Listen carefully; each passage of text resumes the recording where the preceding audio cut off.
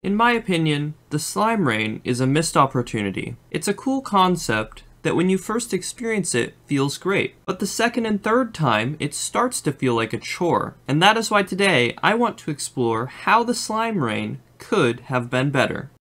I think one of the biggest problems with the Slime Rain is the lack of variation. You spend the entire event fighting the same three slimes with the occasional Pinky. By increasing the amount of different slimes that spawn during the event, it would very easily create some more variation in the experience. Something that I feel would build on this concept even more is scaling the difficulty of the event as it progresses. The event already keeps track of how many slimes you kill, and spawns the boss once you reach a certain quota. So all you'd have to do is add a couple of intermediate tiers throughout the event. For example, it could start by only spawning green and blue slimes, and working its way up through the more difficult slime colors as the event progresses. And while we're at it, why not add some sort of UI indicator that displays how many slimes have been killed so that we can know exactly how close we are to the boss spawning? Another thing that I think the Slime Rain lacks is unique content. When you think about it, just about every other event in the game has unique enemies and items, but not the Slime Rain. This could obviously be fixed by adding a couple of enemies that are completely exclusive to the event. These enemies could also have some unique drops, giving an incentive to fight the event to obtain these items. If these changes were made,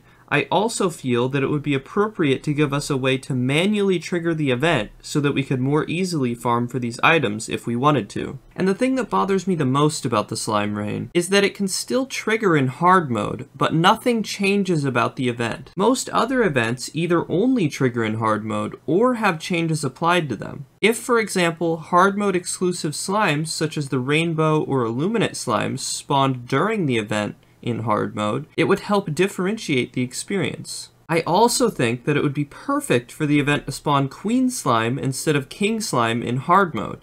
I mean, they already did the hard work of adding a hard mode slime boss. It just seems like a missed opportunity to me. Now, I would like to point out that the Slime Rain is not a bad event. As I said at the beginning of the video, the first time you experience this event, it's very cool. I mainly have problems with the event because it's a great concept. I just don't feel that Relogic did as much with the event as they could have. I should also mention that 1.4 did add a unique music track to the Slime Rain, which I think was a great step in the right direction. It's just a shame they didn't go further with it. So in conclusion, the Slime Rain is a good event that could have been better with a few simple tweaks. But at least we still have a great game to play no matter how boring the Slime Rain is. Before I go, I want to thank everybody for making it to the end of the video. The support on my recent videos has been amazing, and you guys are all awesome.